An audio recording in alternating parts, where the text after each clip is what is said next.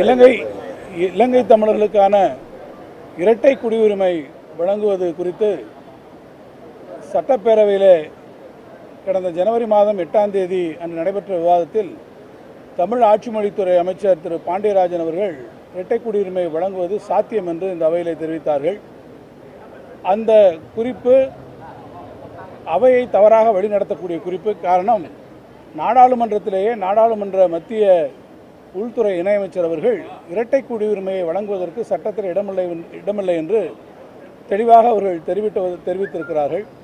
எனவே தெரிந்து கொண்டே இந்த அவையை அவர்கள் நம்முடைய தமிழ் வளர்ச்சித்துறை அமைச்சர் அவர்கள் தவறாக வழிநடத்தியிருக்கிறார்கள். இந்த அவைக்கு தவறான தகவலை கொடுத்திருக்கிறார்கள்.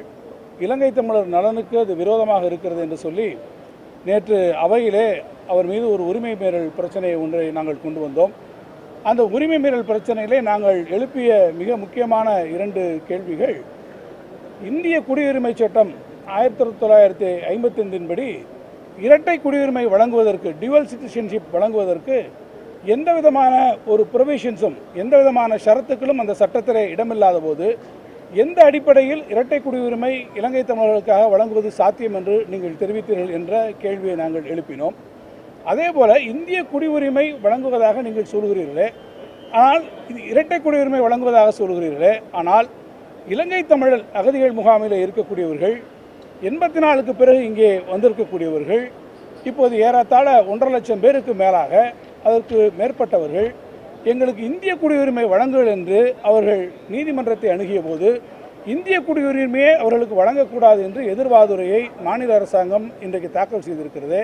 ஆக இவையெல்லாம் உங்களுடைய உரிமை மீறல் பிரச்சனைகள் ஆகாதா என்று கேட்டு நீங்கள் நேற்று நாங்கள் அவையில் இதை எழுப்பிய போது பதிலளித்த அமைச்சர் அவர்கள் மீண்டும் அந்த கேள்விகளுக்கு நேரடியான பதிலை சொல்லாமல் ஏதோ இலங்கையிலே நாங்கள் ஏராளமான வீடுகளை கட்டியிருக்கிறோம் அங்கே திருப்பி சென்றால் அவர்களுக்கு பல்வேறு விதமான சலுகைகள் கிடைக்கும் என்று அவர் ஓவர்சீஸ் சிட்டிசன்ஷிப் ஆஃப் இந்தியா என்கின்ற ஓசிஏ என்பதையும் இரட்டை குடியுரிமை டியூவல் சிட்டிசன்ஷிப் என்பதையும் குழப்பிக்கொண்டு அவர் ஒரு பதிலை சொல்லி நேரடியாக நாங்கள் எழுப்பிய அந்த உரிமை மீறல் பிரச்சனைக்கு எந்த விதமான ஒரு நேரடி பதிலையும் அவர் தெரிவிக்காததோடு மீண்டும் ஒரு முறை அவையிலேயே அவர் என்ன சொன்னார் என்றால் இரட்டை குடியுரிமை வழங்குவது என்பது அதிமுகவின் நிலைப்பாடு இந்த அரசாங்கத்தின் நிலைப்பாடு இரட்டை குடியுரிமை வழங்குவது என்பது மறைந்த முன்னாள் முதலமைச்சர் அம்மையார் அவர்கள் தெரிவித்த கருத்து என்று மீண்டும் அந்த இரட்டை குடியுரிமை விஷயத்தில் அந்த அவைக்கு தவறான தகவல்களை அந்த அவையினுடைய உரிமையை மீறக்கூடிய தகவல்களை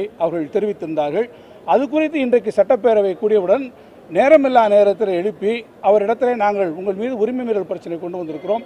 காலையிலே நாங்கள் அவைத்தலைவரை அவையிலே சந்தித்து நேற்று அமைச்சர்கள் கொடுத்த விளக்கத்திலும் இந்த இரட்டை குடியுரிமை குறித்து அவர்கள் தவறான தகவலை கொடுத்து இந்த அவையை தவறாக வழிநடத்துகிறார்.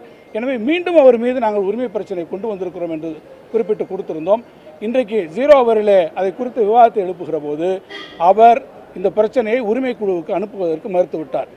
மின்சாரத்துறை அமைச்சர் அவர்கள் இங்கே இருக்கக்கூடிய தொலைச்சக தொலைக்காட்சிகள் மீது புதிய தலைமுறை நியூஸ் எயிட்டின் மீது இன்றைக்கு அவர் ஒரு உரிமை பிரச்சனையை சொன்ன மாத்திரத்தில் உடனடியாக மேலெழுந்த வாரியில் இதில் உரிமை பிரச்சனை இருக்கிறது என்று சொல்லி அதை அதை உரிமை குழுக்கு அனுப்பக்கூடிய அவைத்தலைவர் இந்த பிரச்சனையில் மிக தெளிவாக அமைச்சர் அவர்கள் வேண்டுமென்றே அவையை தவறாக வழிநடத்துகிறார். இதில் உரிமை பிரச்சனை இந்த வகையில் இருக்கிறது என்றதை நாங்களும் நம்முடைய மாண்புமிகு எதிர்க்கட்சி துணைத் தலைவர்களும் மிக விளக்கமாக எடுத்துச் சொல்லி இதை உரிமை குழுவுக்கு அனுப்பிட வேண்டும் என்று நாங்கள் சொன்ன கோரிக்கையை அவைத்தலைவர் வேண்டுமென்றே புறந்தள்ளி அதை ஏற்றுக்கொள்ள மறுத்திருக்கிறார்.